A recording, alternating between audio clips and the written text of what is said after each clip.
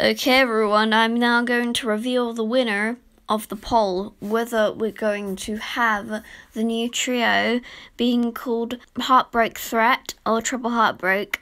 give me a drum roll, please. And the winner is. Uh, Triple Heartbreak! Triple Heartbreak had 50 votes, whilst Heartbreak Threat had 11 votes. So, yeah, from now on, our new trio will be called Triple Heartbreak.